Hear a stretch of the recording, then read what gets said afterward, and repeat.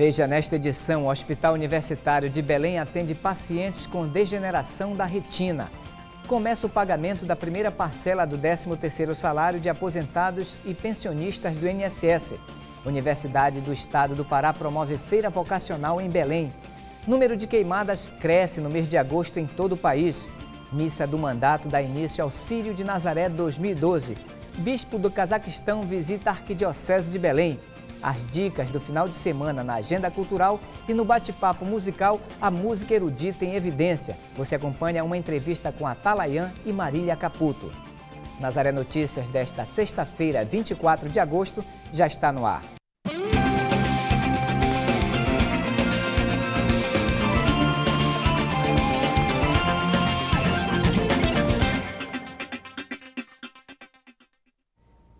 Nazaré Notícias de hoje começa com uma boa informação para quem sofre com problemas na retina. O Hospital Universitário Betina Ferro, em Belém, atende pacientes com degeneração da retina. Desde 2010, a Secretaria de Saúde do Pará assinou um convênio com a instituição e os remédios para o tratamento da doença estão disponíveis no hospital. A falta de informação da população sobre esse atendimento faz com que os remédios se acumulem e percam a validade. Há dois anos, a Secretaria de Saúde do Estado firmou parceria com o Hospital Betina Ferro para o tratamento de pacientes com degeneração da retina, uma enfermidade que representa cerca de 10% das doenças oftalmológicas do país, que não tem cura e sem o tratamento e acompanhamento adequados pode comprometer bastante a visão. A doença macular exudativa, ou seja, tipo úmida, ela tem tratamento não para cura, mas principalmente para controle clínico. Com essa preocupação, os nossos secretários de saúde, sucessivamente, eles vêm tendo uma preocupação maior. E junto com a Universidade Federal do Pará, através do Hospital Betina, eles estabeleceram um protocolo onde a medicação, que é uma medicação cara, está sendo disponibilizada há dois anos. E essa medicação, por exemplo, se fosse feita em, em caráter particular, gira em torno de 4.500 ou mais em termos por aplicação, e às vezes nenhuma uma aplicação somente não satisfaz.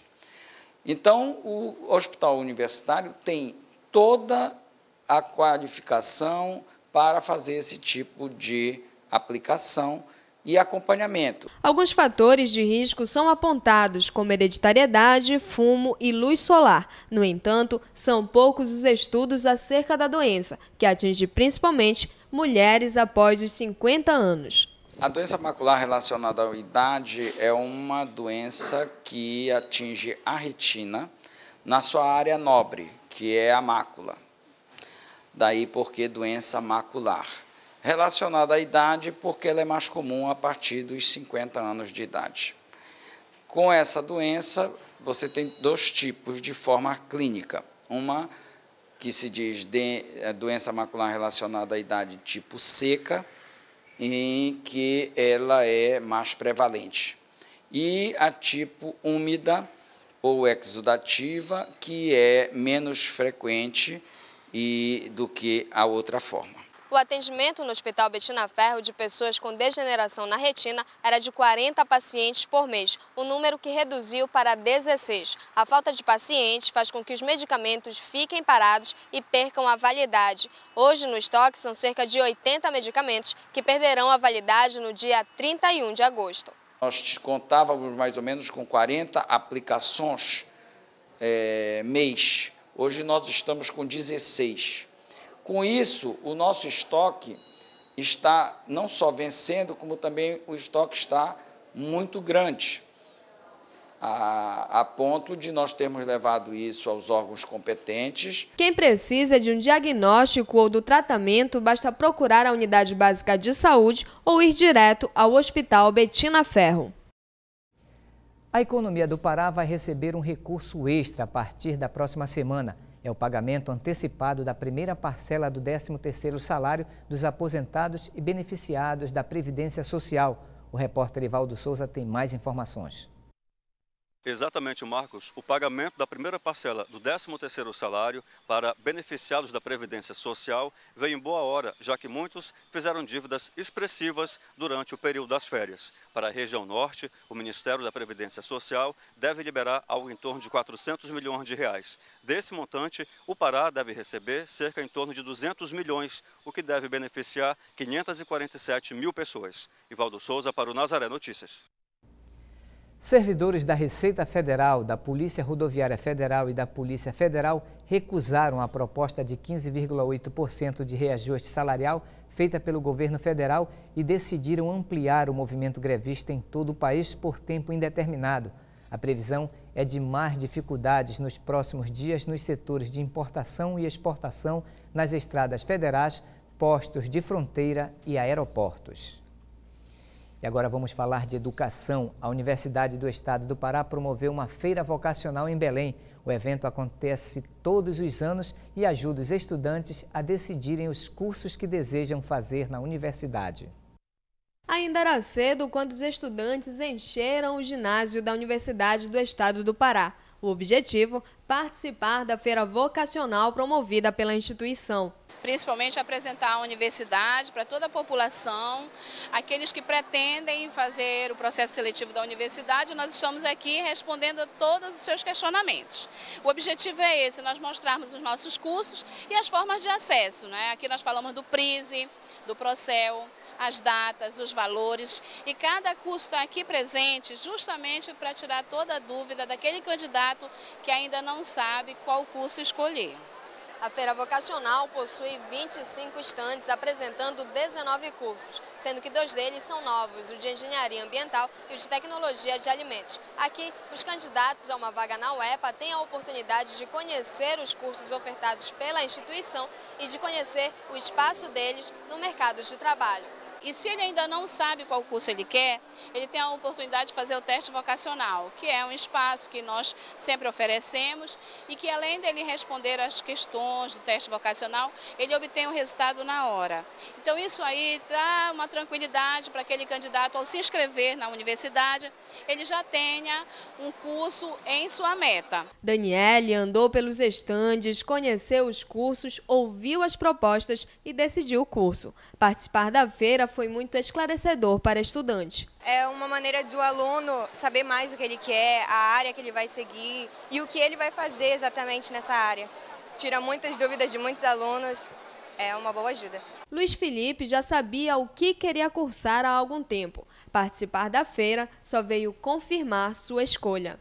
Aqui está sendo muito interessante para várias personalidades de pessoas e é, vai, vai ser muito bom para o nosso futuro. Eu acredito que o nosso futuro começa hoje, que nós vamos ganhar amanhã. A feira vocacional da UEPA acontece nos campi do estado até o final do mês. Ainda assim, quem não puder participar pode procurar a instituição para esclarecer dúvidas. A universidade ela tem esse prazer de receber telefonema, de receber visitas. Hoje é um dia que nós estamos abrindo aqui na capital, mas nós estamos desde o dia 13 em todos os núcleos do interior. Hoje, paralelo a Belém, nós temos em Cametá e em Conceição do Araguaia. Até sexta-feira nós teremos em Vigia, em Salvaterra, em Altamira. E até o dia 29 nós temos nos outros campos do interior. O Tribunal Superior Eleitoral alterou o tempo de televisão e rádio de oito partidos na campanha eleitoral deste ano. Os ministros do TSE recalcularam o tamanho da bancada de todas as legendas e identificou erros em relação ao levantamento feito anteriormente. O número de deputados federais de cada partido serve como referência no cálculo da divisão do tempo de TV.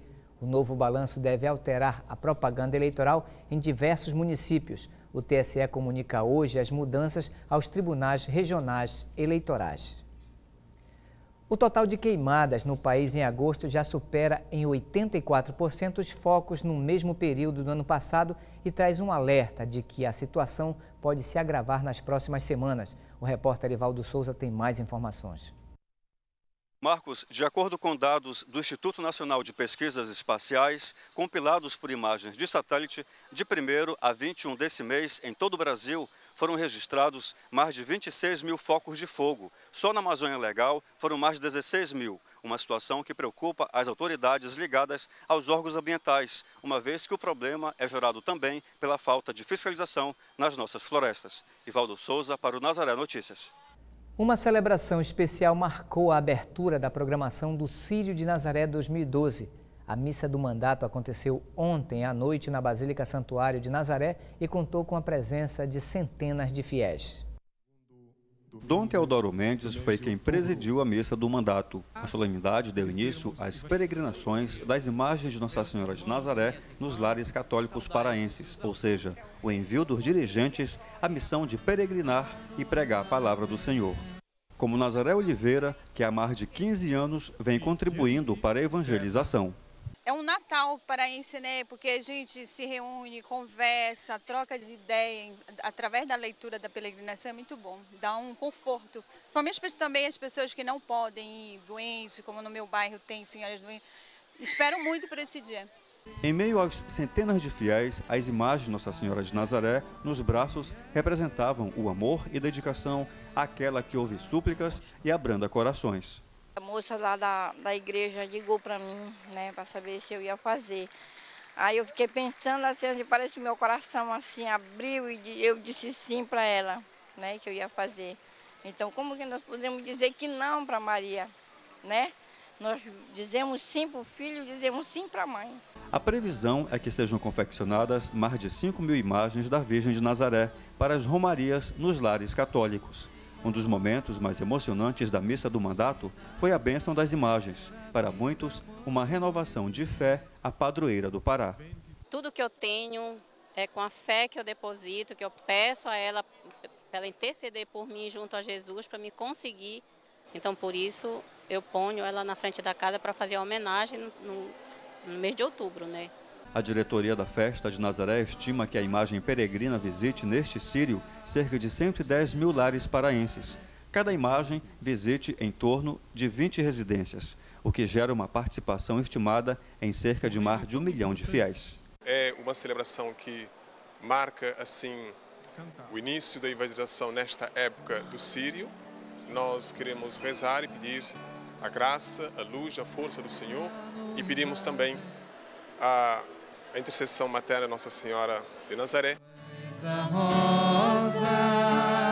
do puro amor,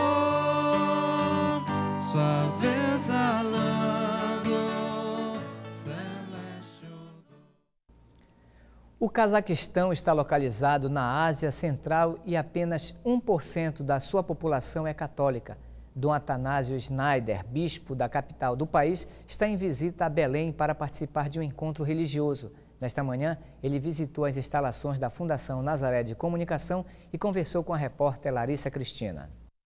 Marcos, a presença de Dom Atanásio Schneider aqui em Belém traz para gente um pouco a forma com que vive a sociedade no Cazaquistão. Dom Atanásio, o senhor é bispo da Arquidiocese de Maria Santíssima de Astana, que é a capital do Cazaquistão. O senhor veio para Belém para mostrar um pouco da experiência da Igreja Católica no Cazaquistão. Então fala para gente, como é que é? É um país com a predominância da religião islã. Como é que é Igreja Católica se faz presente lá no Cazaquistão? A presença da Igreja Católica já é há alguns séculos lá, embora que é uma igreja muito pequena, uma 1% da população, mas especialmente os católicos vieram lá, eh, a maioria não eh, por própria vontade, mas foram deportados eh, com força, com violência, durante o regime comunista do Stalin, o famoso Stalin.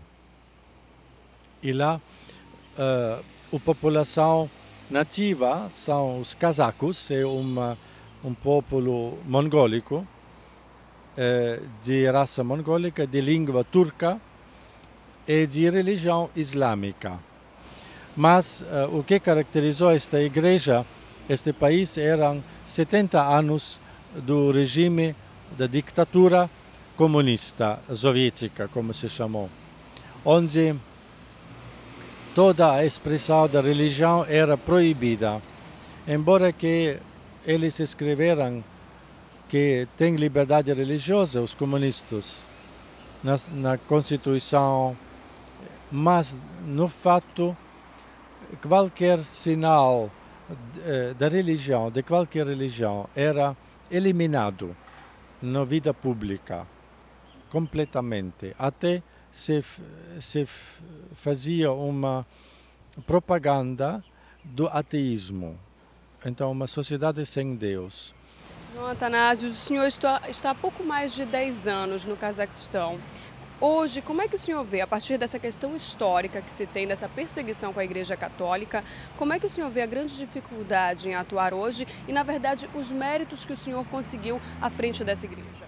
Hoje, temos certamente uma outra realidade que o comunismo já mais do que 20 anos acabou, graças a Deus, e temos uma liberdade religiosa relativamente melhor, certamente.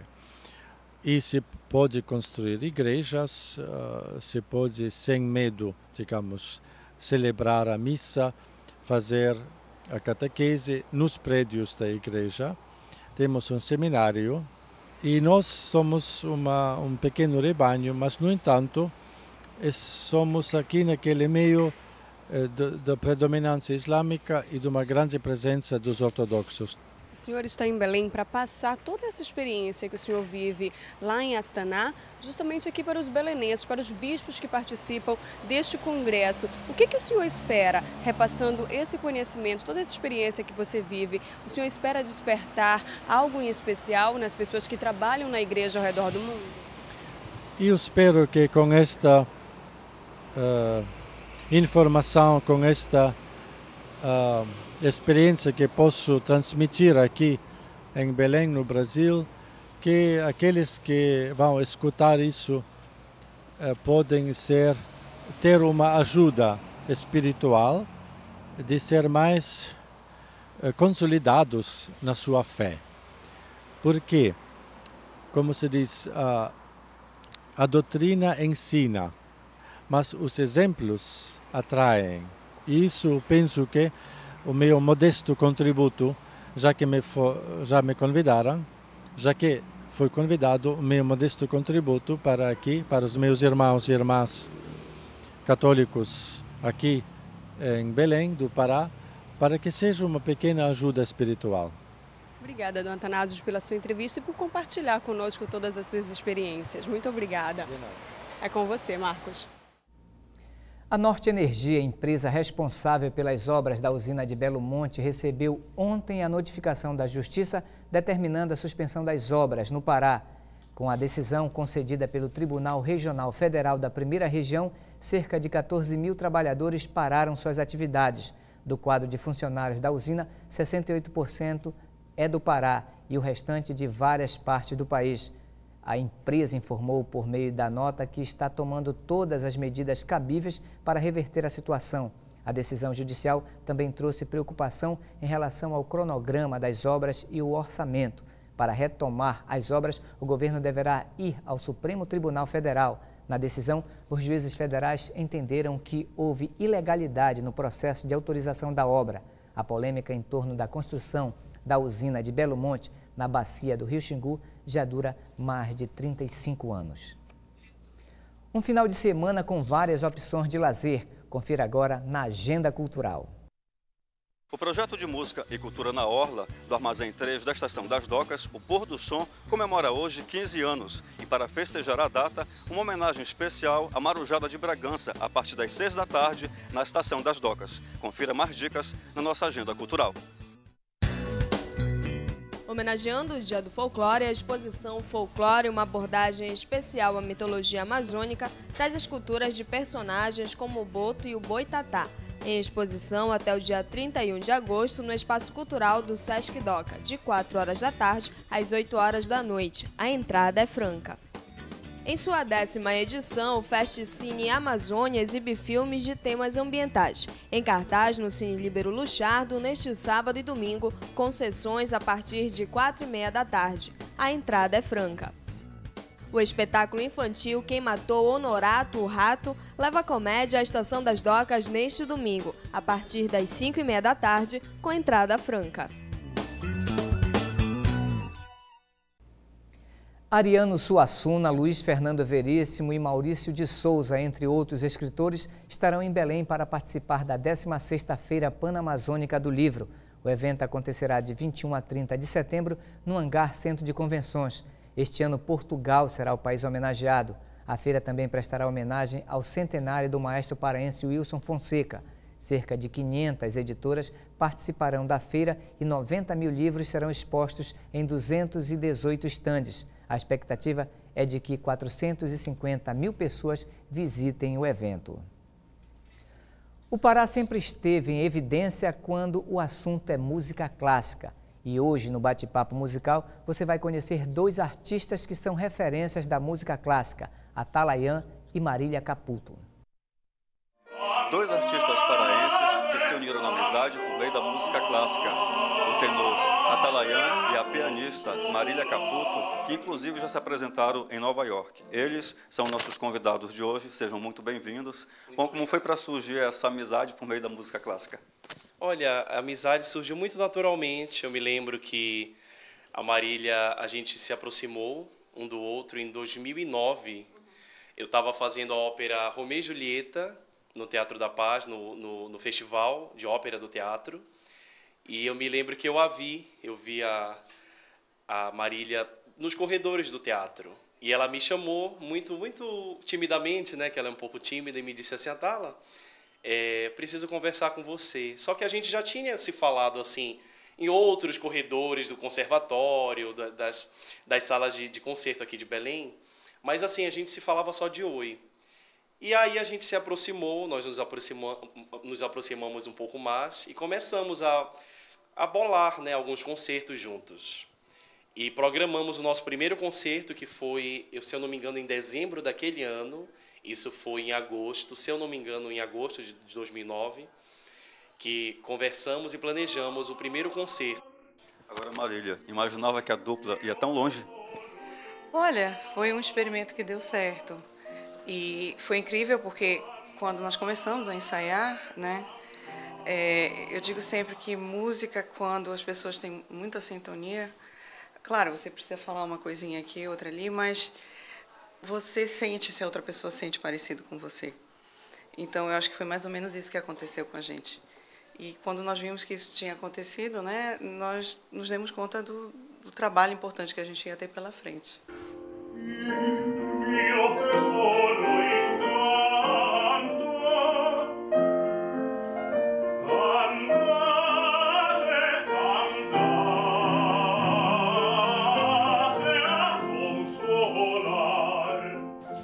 Que está sendo essa experiência de apresentações fora do Brasil?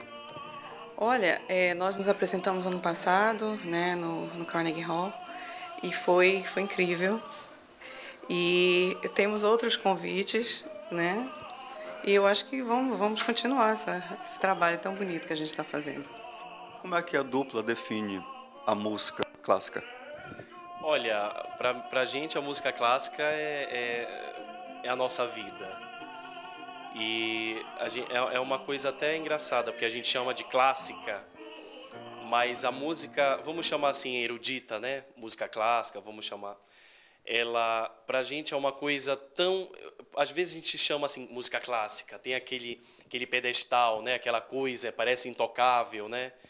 Mas a música clássica, pra gente, é uma coisa, às vezes, pode ser muito simples, pode tocar um sentimento humano che sole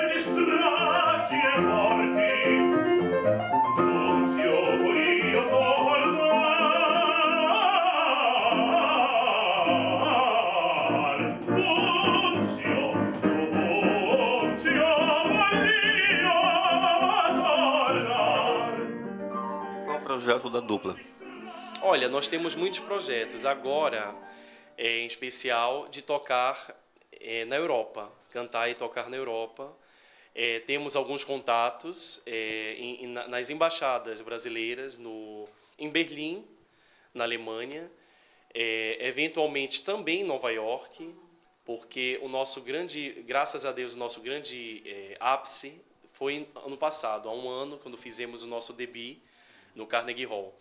Mas na, na, na Europa temos grandes salas, né, Marília? Inclusive a Marília é, viveu na Rússia é, durante sete anos. Então, eventualmente, nós temos um, temos um grande sonho de ir até a Rússia. Eu acho que tem um ponto que talvez esteja a favor né, da gente, que a gente faz tudo com muito coração. E eles, eles gostam muito disso. O russo ele não gosta daquele músico que, que é máquina, que só sai executando, que tem uma técnica primorosa.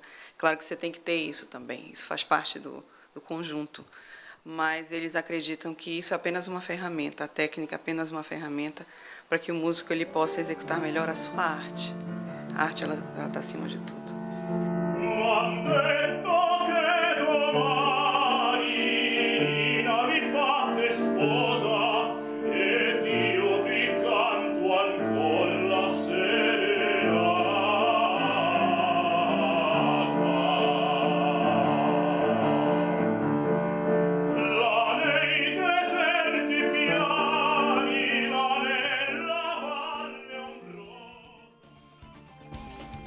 Você pode assistir às matérias exibidas no jornal de hoje no portal da Fundação Nazaré de Comunicação. Basta acessar www.fundacionazaré.com.br ou entrar na nossa página no Facebook.